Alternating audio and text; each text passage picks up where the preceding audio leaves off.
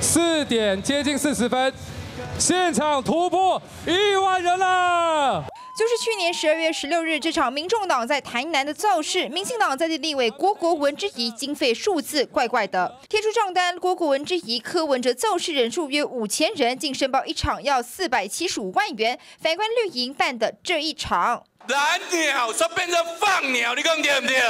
民进党台南市党部六月十五日举办座谈会，现场两千人，场地费十八万。那一般的集会，我想就是大家接奖而已，两千人的大概发一些啊简单的吃吃喝喝座椅就结束了。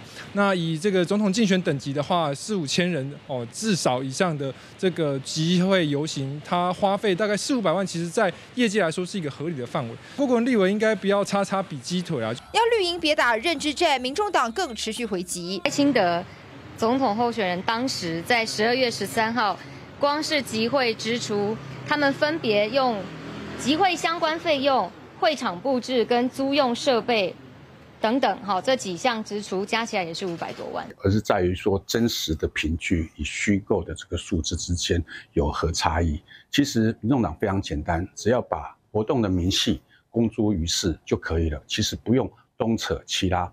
模糊焦点。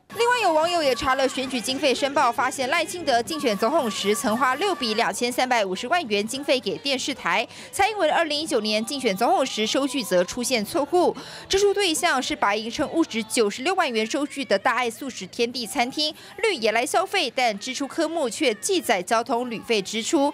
询问民进党则表示对此没有回应。民众党陷入政治陷阱争议，掀起政坛查账风，反正互怕互。TVB 新闻高子瑶、刘婷婷听不懂。